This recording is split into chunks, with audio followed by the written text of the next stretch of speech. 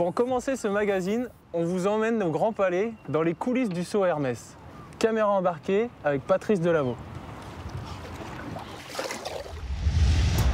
Paris, le week-end dernier. Les meilleurs cavaliers de la planète sont réunis sous la nef du Grand Palais pour le rendez-vous annuel du saut d'obstacle en France. Une compétition incontournable pour le vice-champion du monde de la discipline, Patrice Delaveau, et pour toute l'équipe de France olympique. Cette épreuve fait office de répétition générale à moins d'une semaine de la finale de la Coupe du Monde, en Suède. Aujourd'hui, c'est vrai, il y a beaucoup de médias à ce, concours. Hein. Le saut Hermès, c'est quelque chose d'assez prisé à, Paris. Je suis venu avec deux chevaux. Je suis venu avec euh, Carigno HDC qui va faire la première épreuve, l'épreuve d'ouverture, et Ornella Maille HDC qui va faire la deuxième épreuve, qui on dit la, la grosse épreuve, la plus grosse épreuve. C'est un des cavaliers les plus expérimentés que j'ai aujourd'hui. C'est un formidable compétiteur. C'est un type qui n'a jamais rien. C'est vraiment un cavalier qui est tout à l'instinct.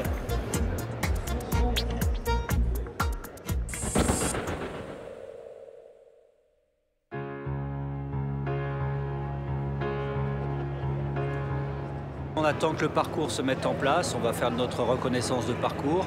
Et après, étant donné que moi je suis assez tôt dans l'épreuve, j'ai le numéro 10, je vais commencer à échauffer un petit peu mon cheval pour euh, qu'il soit bah, le, plus, chaud possible pour euh, faire cette première épreuve.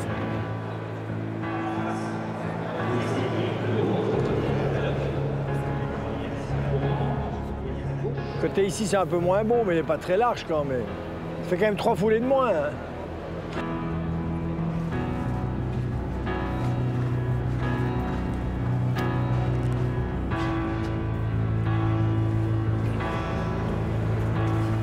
C'est un concours qui est quand même très particulier. On a la, lumière qui passe, on a beaucoup d'ombre sur la piste.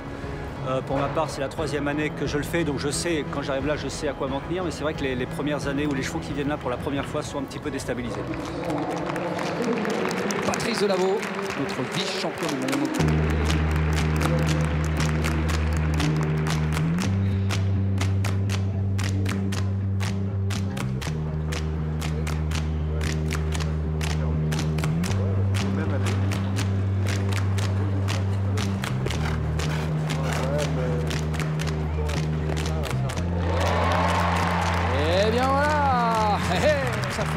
Secondes de mieux, mesdames, messieurs. Ça peut se raccompagner des applaudissements bien mérités pour le groupe, le leader du moment.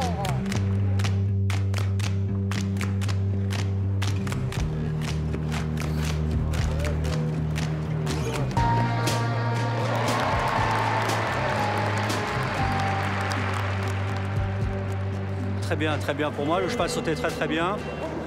Moi, mon cheval a plein d'expérience, donc j'en profite pour essayer de, faire une petite pièce. C'est vrai qu'on a rarement eu une équipe aussi forte. Et je pense qu'on a une équipe qui peut avoir une médaille d'or cette année. Le cheval va très bien, donc euh, maintenant on met la, machine de guerre en route et on va le préparer euh, gentiment pour euh, l'amener au, mieux possible à Rio. Ça fait partie de mon métier et de, répondre aux interviews et de le faire aussi, essayer de le faire le, mieux possible. Moi j'ai la chance d'avoir participé déjà à deux Jeux Olympiques, donc je sais exactement comment ça se passe et je sais que c'est un paramètre euh, qui est important, il y a de la pression.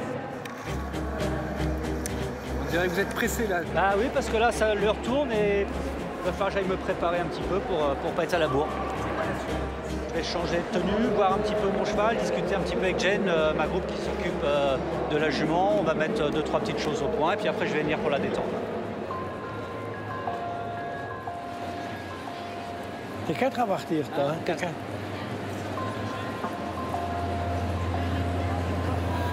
On sert intérieur, extérieur par contre après, le tour du mur. Tu vas voir comme tu viens. Ouais, mais je pense le tour du mur. Moi j'ai l'impression qu'il y en a plein qui passent avec l'idée d'aller autour du mur et qui vont passer à droite. C'est une jument qui a un très fort tempérament, un petit peu de caractère, euh, qui fait beaucoup de, spectacles parce qu'elle a une façon de, sauter en donnant des, ruades au-dessus des obstacles et, souvent entre les obstacles. Elle est très connue du, grand public parce que euh, c'est un peu une showman, Ornella. C'est une artiste, elle, est un petit peu, a des jours avec et des jours sans. J'espère qu'aujourd'hui, ce sera un jour avec et ce serait sympa. Putain, elle se met déjà à pisser avant de partir, c'est pas bon aussi.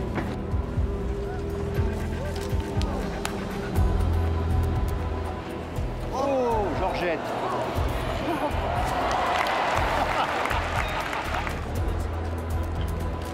Elle est incroyable quand même, elle fait Georgette, mais elle fait pas faute, gars. Georgette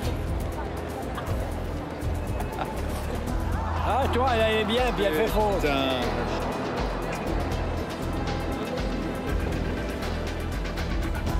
Quatre foulées. Quatre foulées. Tout capouillé.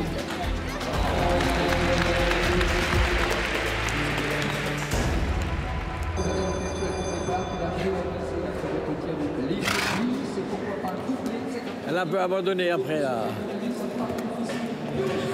C'est une jument qui, quand elle passe dans ce genre d'épreuve, elle est presque pas battable. Il a essayé, il a enlevé des foulées. Bon, quand elle fait une faute, elle toujours en fait une deuxième derrière. Il fallait prendre des risques, ce qu'il a fait, mais bon, ça, il a pris des options que les autres n'ont pas pris jusqu'à maintenant, mais bon, ça n'a pas payé à la fin. Je suis parti un petit peu chaud, je voulais absolument faire un bon résultat. Je lui ai donné une mauvaise distance pour aborder le double. Elle, ne m'a pas compris, elle a, elle a, évité la faute, mais du coup, elle a fait un effort, elle a perdu un petit peu confiance en moi. Et voilà, après la machine s'est déréglée, voilà, et j'ai pas réussi à la recalmer. Du coup, je fais trois fautes pour finir. La semaine prochaine, on a la finale Coupe du Monde, donc c'est une étape très importante pour nous. Donc euh, ce concours me permet de me remettre un petit peu dans le coup. Ça fait un mois que je n'ai pas fait de compétition. Ça me, à ce niveau-là, ça me manquait un tout petit peu, donc je pense que ce concours-là va me faire beaucoup de bien.